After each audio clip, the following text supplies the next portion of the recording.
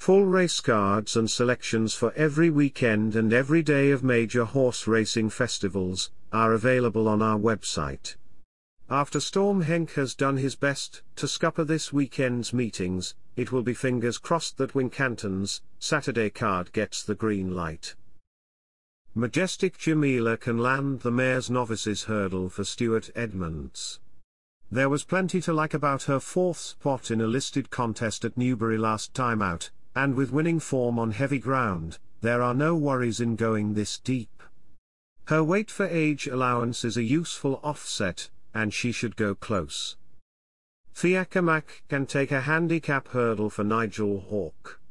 She left some ordinary flat form in Ireland well behind her when scoring on just her third start over timber for this new stable, and although that was a three-year-old race, she is one going the right way and can serve it up to some older and more experienced rivals.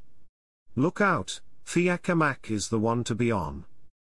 George's Saint is on a hat-trick after wins at Fakenham and Ffos Las, both on testing ground. Venetia Williams' French import won't mind ground this deep, and he can lock horns with Paul Nicholls' course and distance winner Hulgoat, and still come out on top. Later on the card, Intimate can make it a double on the day for Venetia Williams, if George's Saint does the business, while Persevering can rack up a four-timer in the closer. He's been a much improved model this season following a wind op, and can defy top weight to bring home the bacon ahead of the reopposing Caerullium. Saturday's nap though is an early one on Wincanton's card. It may pay to side with Joe Tizzard's course winner Lord of Thunder for the opener.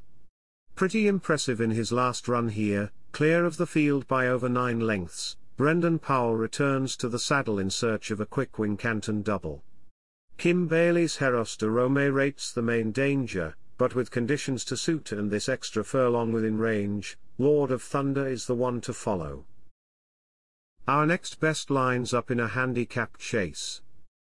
Dan Skelton looks to have a good one in his yard with Artemis Kimbo. Her first start over fences was a winning one on ground plenty deep enough at Leicester last month, and by son day son, she shouldn't get stuck in this ground. Up in class, but one going the right way for the inform yard, so gets the nudge.